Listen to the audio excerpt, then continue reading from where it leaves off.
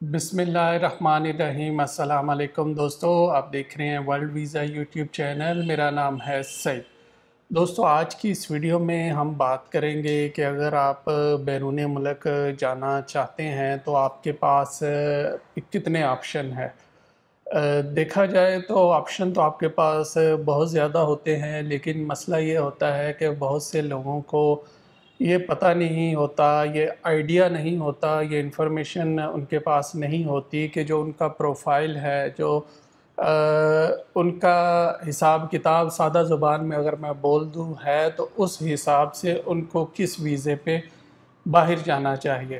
तो सबसे पहले तो ऑप्शंस की बात करते हैं कि जो आ, एक कोई भी बंदा है बैरून मलक जाना चाहता है तो उसके पास कौन कौन से ऑप्शन होते हैं किस तरीके से वो बैरून मलक जा सकता है। तो उसमें सबसे जो पहला ऑप्शन आता है, वो आता है विज़िट वीज़ा दूसरे नंबर पे जो ऑप्शन आता है, वो आता है वर्क परमिट और तीसरे नंबर पे जो ऑप्शन आता है, वो होता है पीआर का, या जिसे हम इमिग्रेशन बोलते हैं कि आप अपनी ही कंट्री से पीआर या इमिग्रेशन लेके जहाँ भी आपने जाना है तो उस कंट्री में आप जा सकते हैं।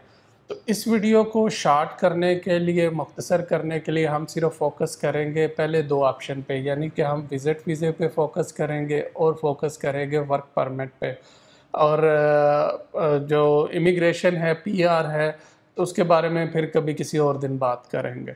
तो शुरू करते हैं विज़िट वीज़े पे। अगर आप बैरून मुल्क जाना चाहते हैं तो एक ऑप्शन जो सबसे क्विक होता है, वो होता है विज़िट वीज़ा अब विज़िट वीज़े में भी आगे डिफरेंट टाइप होती है कि आपने कौन सा विज़िट वीज़ा इस्तेमाल करना है बाहर जाने के लिए। तो उसमें जो सबसे कामन और जो सबसे फ़ेमस है, जिसमें दुनिया में सबसे ज़्यादा जो अप्लाई होता है, वो होता है किसी भी मुल्क का जो टूरिस्ट वीज़ा होता है। वो वीज़ा होता है जो लोग सियाहत की गरज से दूसरे ममालिक में जाते हैं तो वो वीज़ा जो अप्लाई करते हैं, उसको टूरिस्ट वीज़ा कहते हैं। अब टूरिस्ट वीज़ा के बाद जो नेक्स्ट ऑप्शन होता है, वो होता है बिज़नेस वीज़ा। बिज़नेस वीज़ा ऐसा वीज़ा होता है कि आपने जो भी आपका कारोबार है पाकिस्तान में, आप उस कारोबार से रिलेटेड अगर कोई कॉन्फ्रेंस हो रही है एग्ज़िबिशन हो रही है, या आपका जिस कंट्री में आपने जाना है, वहाँ पे आपका कोई कारोबार का लेन देन है तो उस सिलसिले में अगर आप विज़िट करते हैं तो उसको बिज़नेस विज़िट कहते हैं। और आखिर में आता है फैमिली विज़िट या फैमिली विज़िट ऐसा होता है कि आपका कोई बहन, भाई, अज़ीज़, रिश्तेदार, वालिद, वालिदा जो कि बैरून मलक मकीम है, आपको इनविटेशन भेजता है। इनविटेशन भेज के वो आपको इनवाइट करता है तो उसको हम फैमिली विज़िट कहते हैं। ये तीन तरह के विज़िट जो हैं बहुत ही फ़ेमस है। इस तरह से अगर आप बैरून मुल्क जाना चाहते हैं तो इन तीनों में से कोई भी आप ऑप्शन ले सकते हैं। अब हम बात करते हैं वर्क वीज़े की।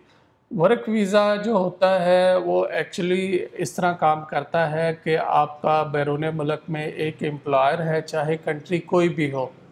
यूरोपियन कंट्री हो, यूरोपियन कंट्री में जो बहुत ही फ़ेमस कंट्री हैं, जैसे माल्टा है, पोलैंड है, रोमानिया है तो इन ममालिक का जो एम्प्लॉयर होता है, वो आपको वर्क एग्रीमेंट भेजता है वर्क कॉन्ट्रैक्ट भेजता है। वर्क कॉन्ट्रैक्ट जब आप साइन कर देते हैं, वहाँ पे उनका जो मुतल इदारा होता है, उसमें वो जमा करवाता है। जमा करवा के फिर आपका वो वर्क परमिट जो है वो भेज देता है। जब वर्क परमिट आ जाता है तो उसके बाद फिर आप पाकिस्तान में मौजूद उस मुल्क की अम्बेसी में आप वीज़ा अप्लाई करते हैं। इस तरह के वीज़े को डी टाइप वीज़ा या लॉन्ग टर्म वीज़ा बोलते हैं। डी टाइप वीज़ा और लॉन्ग टर्म वीज़ा में जब आप को ग्रांट हो जाता है तो आपके पासपोर्ट पे स्टिकर लग जाता है और आप उस मुल्क में सफ़र कर लेते हैं। फिर वहाँ जाके मुख्तलिफ़ फार्मेलिटीज़ होती हैं, आपका मेडिकल वगैरह की और बैंक अकाउंट वगैरह की होती है। अब बात करते हैं दोनों में मेन फ़र्क क्या है? फ़र्क ये है कि जो विज़िट वीज़ा होता है, वो मुख्तसर दुरानिए का होता है। जैसा कि हम बात करें यूके से स्टार्ट करते हैं यूके का छः महीने का होता है। तुर्की की अगर बात करें तो तुर्की का पंद्रह बीस दिन का वो नंबर ऑफ़ डे स्टे देते हैं। उसके अलावा जो वैलिडिटी होती है, उसकी तीन से छः महीने होती है। उसके अलावा अगर हम बात करें बड़े मुल्कों की, जैसे कि यूएसए हो गया यूएसए का जो विज़िट वीज़ा होता है वो पाँच साल का होता है और कनाडा का जो वीज़ा होता है वो होता है जितना आपका पासपोर्ट वैलिड है नंबर एक, या जितने आपकी बायोमेट्रिक की वैलिडिटी है। फ़र्ज़ करें कि अभी 2023 चल रहा है और 2015 में भी आपने वीज़ा अप्लाई किया था, लेकिन रफ्यूज़ हो गया था तो आपके जो बायोमेट्रिक है 2015 में हुए थे और आपके बायोमेट्रिक वैलिड हैं है 2025 तक, लेकिन जो आपका पासपोर्ट है वो वैलिड है 2032 या 2033 तक। आपको जो वीज़ा मिलेगा, वो मिलेगा आपके बायोमेट्रिक की वैलिडिटी के हिसाब से, यानी 2025 तक। तो वर्क वीज़ा और विज़िट वीज़ा में ये मेन डिफरेंस है, एक तो नंबर एक दुरानिए का, और दूसरा ये होता है कि इसमें जो विज़िट वीज़ा होता है इस पर आप नॉर्मली किसी भी मुल्क में जाते हैं तो आप लीगली वहाँ पे काम नहीं कर सकते, काम करने की इजाज़त नहीं होती। इसको आप अगर वो कंट्री जहाँ पे आप जा रहे हैं, ये इजाज़त देता है कि आप इसको कन्वर्ट कर सकें तो आप कन्वर्ट करवा लेते हैं। अदरवाइज़ एक जो ड्यूरेशन होता है, तीस दिन का या छः महीने का, उसके बाद आपको वापस आना पड़ता है। अगर आप वापस नहीं आते तो आप ओवर स्टे हो जाते हैं इलीगल हो जाते हैं, जिसके बाद में फिर मसले मसाइल आते हैं। आपको बाद में किसी और वीज़े पे स्विच होने के लिए मुश्किल पेश आती हैं। इसकी नस्बत अगर आपने लॉन्ग अरसे के लिए जाना है तो आप अपना होमवर्क कंप्लीट करें। होमवर्क कंप्लीट करने का मकसद ये होमवर्क कंप्लीट करने का मतलब ये है कि जब आपने अपने मुल्क से, बैरून मुल्क जाना है लॉन्ग लंबे अरसे के लिए, काम की गरज से तो आप कोशिश करें कि आप उस मुल्क का जो वर्क वीज़ा है, वो लें।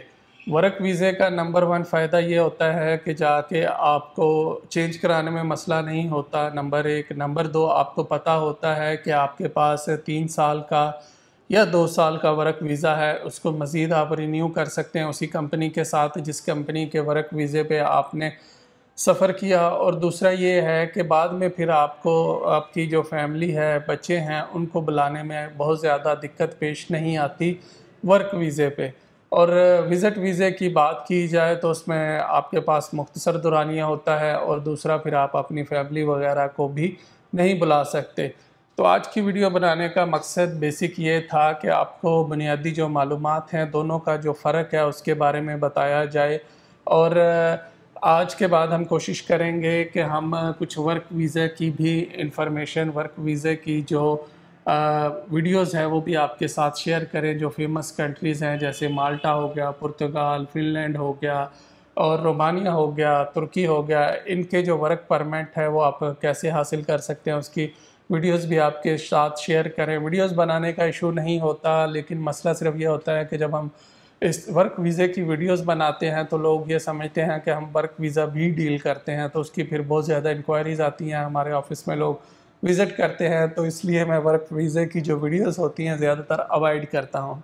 क्योंकि हमारा जो मेन स्कोप है world visa overseas consultant private limited का, इसमें हम नंबर वन जो काम करते हैं, हम स्टडी कंसल्टेंसी प्रोवाइड करते हैं, एडमिशन करवाना, वीज़ा प्रोसेसिंग करवाना और फिर प्री डिपार्चर और डिपार्चर के बाद जो यूनिवर्सिटी में इनरोलमेंट होती है, इस तरह की सर्विस प्रोवाइड करते हैं। और दूसरी ये कि हमारे पास जो विज़िट वीज़ा है, उसकी बड़ी प्रोफेशनल एक्सपीरियंस टीम मौजूद है, वो लोग विज़िट वीज़ा की प्रोसेसिंग करते हैं अपॉइंटमेंट लेके देना विज़िट वीज़ा की जो फाइलिंग है वो करना वो चीज़ें करते हैं वर्क वीज़ा हम नहीं करते। अगर आपका इस वीडियो से रिलेटेड कोई सवाल है तो आप कमेंट्स कर सकते हैं, हमारे इंस्टाग्राम हैंडल पर सवाल भेज सकते हैं, मैं कोशिश करूँगा कि आपके कमेंट्स का जितनी जल्दी हो सके जवाब दे सकूँ। Thank you very much